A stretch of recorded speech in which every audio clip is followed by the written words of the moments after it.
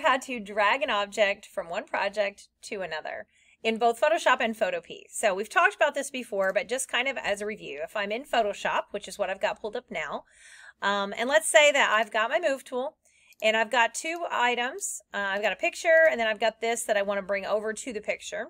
Uh, let's say I want to go ahead and take this background off now.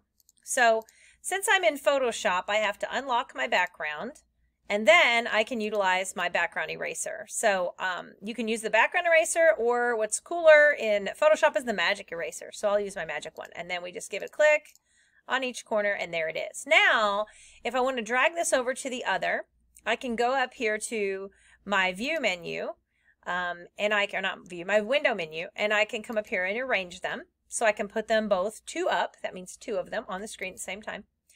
Or let me put that back. Let me put them all back in tabs. Or I can just drag one of them down. There. So I'm dragging the little one down. And then in Photoshop, we can just take the move tool and drag it straight across, like so. Oops. And then hit this.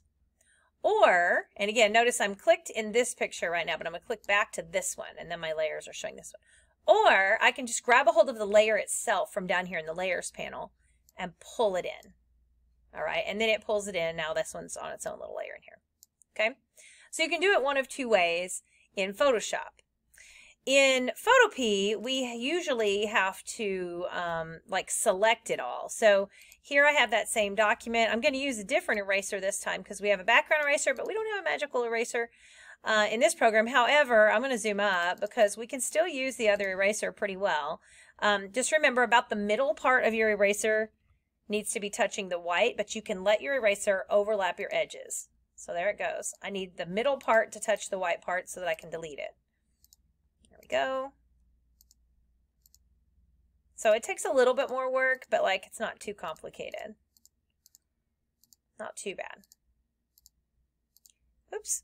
And just control Z if you need to back up a step. Okay. So there we go. There might be a little part here at the top, but I'm okay with it. Okay, so now, same thing. We have the background layer, but we cannot undock. Like we can't pull this down. It they don't it doesn't let us in Photopea. What we can do though is drag the layer. So if I want to put that on this picture, same thing as Photoshop, I can come over here and just drag this layer and drop the layer into the other document. And then there it is. And then now I can take my move tool and I can put it in there. And if I still needed to touch it up, I could do that. Now in later chapters, we'll have layer masks. So um, where you're hiding parts of layers, they look different. But it's the same concept. I can take this and just drag that layer and drop it into wherever I want it to go.